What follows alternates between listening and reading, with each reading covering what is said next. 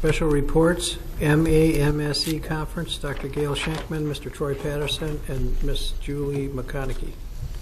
So as they're coming forward, uh, they attended and presented at the MAMSE conference that we held here in Dearborn at Stout uh, last week, and we had four or 500 people from around the state attend? Yeah. Over 500. Over 500, okay. Right. We have a, a short video for you to watch of the um, opening and, and activities at, at MAMSI. I didn't know how to pronounce it, that's why.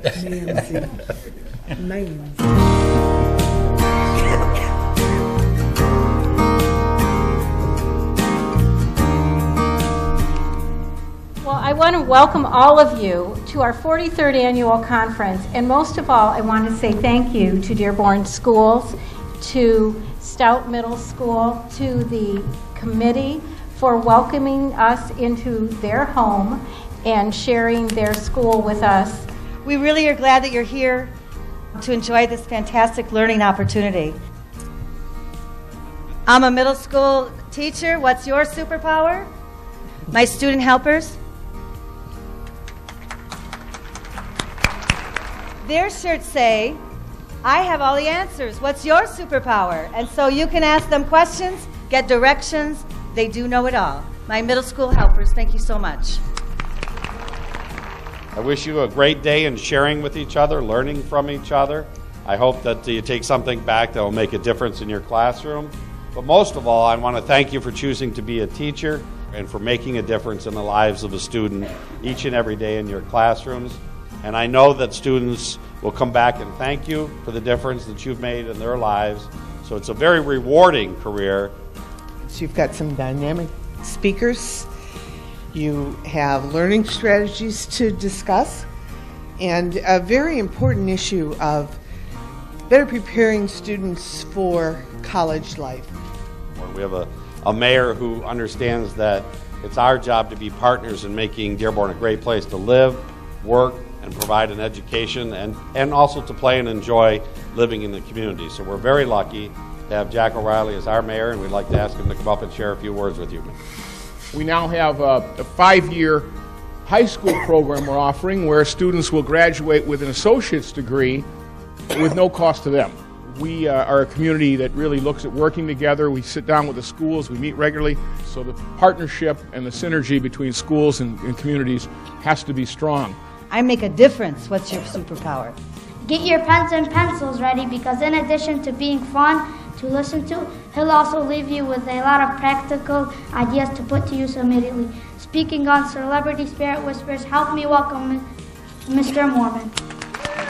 You are awesome. Thank you. It could be any adult, any adult, in the presence of a child who teaches to a child's spirit, their energy, their attitude, their I can stance towards life, the degree of personal power that they experience in their lives, their ability to problem solve and to work with others and, and, and to feel like they, they're able and capable and responsible and valuable and important and they care and they want to learn. That's spirit. I looked at your conference brochure. This thing is jam packed with powerful stuff. We got math in here. We got language arts. Someone in geography. Someone on test stuff. We got boys and girls learn differently. Differentiated math. After school geography. We got um, team building. We got co-teaching. Wow! I don't know how you decide which ones to go to. Putting on a statewide conference is an exciting opportunity, um, and it's something that we really grabbed hold of. It's an opportunity to bring in some national speakers. Um, we had, for example, the president um, and the executive director from the Association of Middle Level Educators, uh, the national organization for middle level education. We had over 500 presentations. I'm, I'm sorry, over 100 presentations. 500 would have been a lot of fun. Um, over 100 presentations ranging on um, all kinds of strategies, language arts, math, how kids learn. We had over 500 educators who attended, It also provided the opportunities to interact with excellent educators from around the entire state, to have those deep conversations and sharing of successful strategies. It gave us a chance to really focus on the middle school learner and focus on strategies that can be integrated into the classroom. All of this was the result of a lot of hard work by a great committee. The committee members included um, Dr. Gail Shankman, uh, Miss Jennifer Frizel, Mary Pizzamenti, Janice Schmidt, Amy Keith Wardlow, and Mason Ali Bazzi. Um, and probably the person that worked the hardest, um, even though she didn't ask for this, um, and that was Julia McConaughey. And she did a fantastic job. Um, and uh, sends a lot of really late night emails if you ever work on a committee with her too. So um, it's my pleasure to um, ask Julia to come up and share a little bit of the experience. Troy's too humble. He worked harder, if not uh, twice as hard. Um, I was asked to talk to you a little bit about the planning, what went into putting together a statewide conference.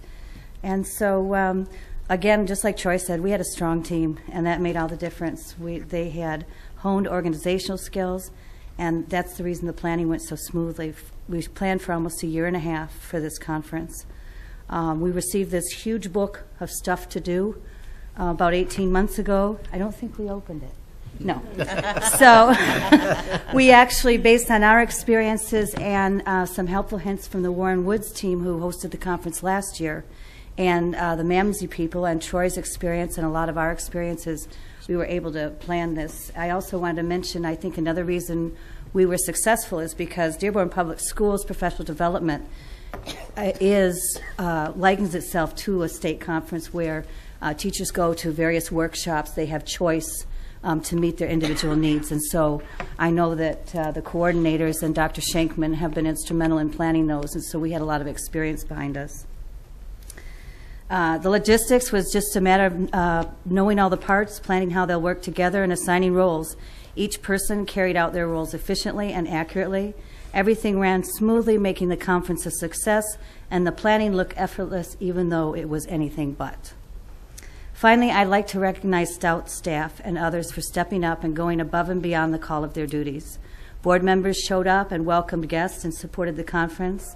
The office staff did a lot of the behind the scenes work for the conference. I can't say enough about our maintenance staff. They set it all up, broke it all down.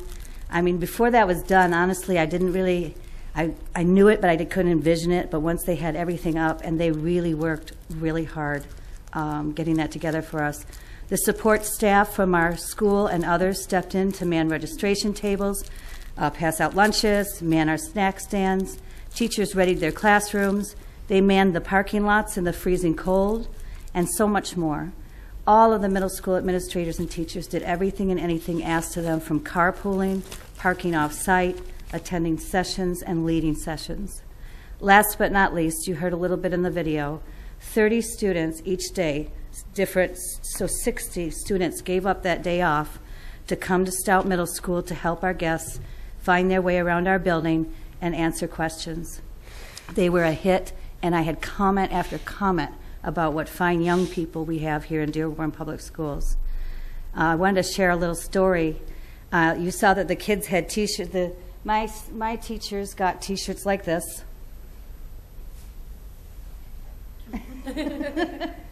and uh, my support staff, I, I made t-shirts. I didn't make them personally. I had someone make them. They said, "I make a difference. What's your superpower?" And then the children had uh, T-shirts on that said, "I have all the answers. What's your superpower?" And the keynote speaker, Chick Moorman, walked up to one of our kids and said, "Hmm, so you have all the answers." And without hesitation, she looked at him and said, "Yes, I do."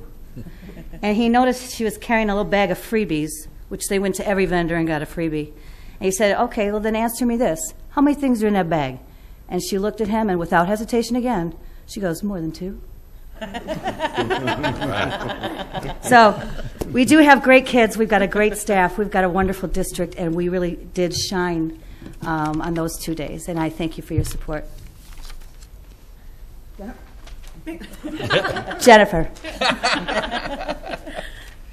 Thanks, Julie. Uh, Mary and I are just here to talk about the sessions that we offered on Thursday and Friday, just kind of an overview. Um, we started off with a keynote speaker in Chick Moorman, and we booked him over a year and a half in advance because he's high in demand.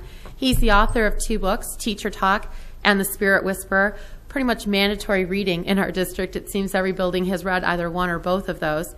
He also graciously agreed to do some breakout sessions for us on Thursday, which most keynotes will come, they'll do their keynote and leave, and he didn't. He stuck around all day. Uh, during the conference, two-day conference, we had 134 sessions that were offered the teachers to choose from. And of those, I'm really proud to say that 39 of those sessions were led, led by Dearborn staff itself. So it's nice to see so many of our in-house experts stepping up and sharing that with others. Our session topics included things such as using technology in the classroom, engaging at-risk students in all aspects of the school, reading and writing in the Common Core, differentiating math lessons, brain-based learning, and we even had Central Michigan University students presenting what's going on in upcoming education to kind of rejuvenate some of us who've been around for a while. Mary? Well, we had some um, advantages, and plenty of consequences uh, from from all of this. Um, first, it, there was some wonderful support of our district initiatives. Our math and literacy coordinators presented strategies and assessments and lessons to support Common Core. In fact, um, in some of the sessions now, teachers are um, emailing us and asking us to come into their classroom to support that some more, to model lessons, provide resources. So that was a wonderful consequence. Um, not to mention some of the things like um, the motivation that some of the, the conference sessions offered. One was on humor. Um, others were just ways to motivate the, mo- the middle school student.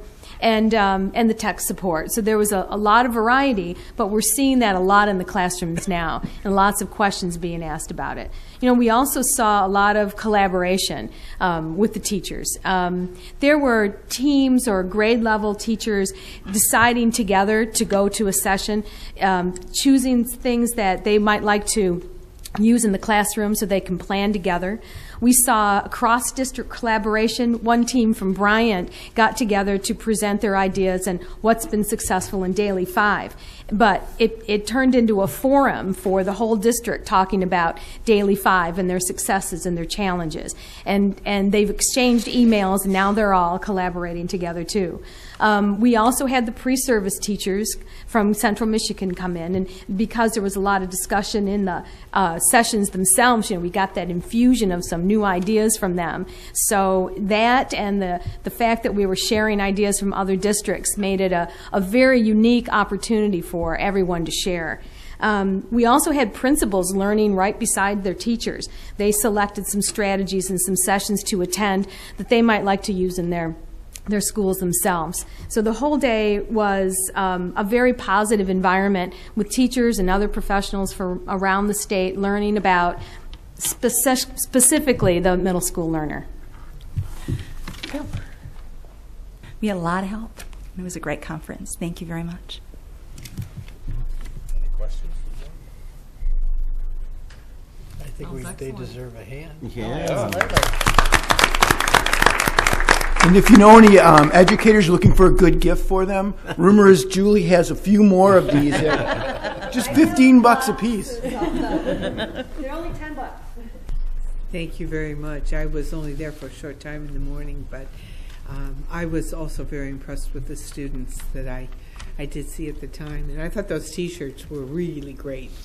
They they were they were very identifiable and very appropriate. So I'm glad you had a good good conference.